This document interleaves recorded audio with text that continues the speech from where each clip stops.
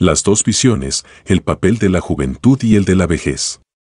En la visión revolucionaria, donde el conocimiento y la razón son concebidos como racionalidad articulada, los jóvenes tienen todas las ventajas. Si todos los problemas y los vicios se derivan de las instituciones y creencias existentes, los menos habituados a las mismas estarán menos corrompidos y, por consiguiente, en mejor disposición para acometer los cambios revolucionarios que la sociedad necesita. Los niños son la materia prima puesta en nuestras manos, decía Godwin.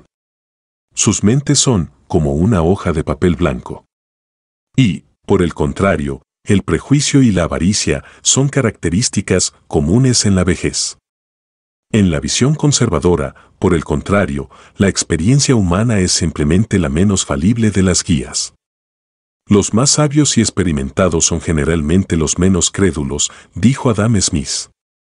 Es solo la sabiduría adquirida y la experiencia lo que enseña incredulidad, y muy pocas veces lo enseña lo suficiente.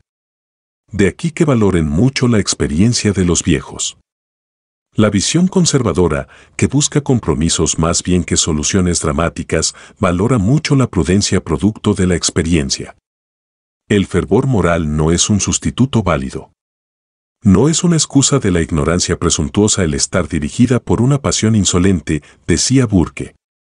Oliver Wendell Holmes reflejaba la visión conservadora cuando decía que muchos juicios honorables y sensatos expresan una intuición de la experiencia que va más allá del análisis y compendia muchas impresiones enredadas y confusas, impresiones que pueden estar por debajo la conciencia sin por eso perder su valor.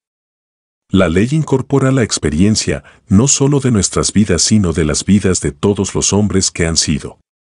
Y Honesto Admit decía que las leyes no crecen, sino que se hacen y que es absurdo sacrificar fines actuales a medios anticuados.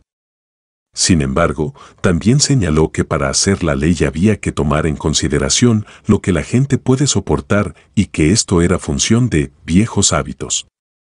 La aquiescencia de la humanidad depende de la preservación de algo así como la continuidad de la existencia en las instituciones, que representa esos innumerables compromisos entre intereses y esperanzas contradictorios, sin los que ningún gobierno pudiera mantenerse durante un año, y aún con dificultad por solo una semana.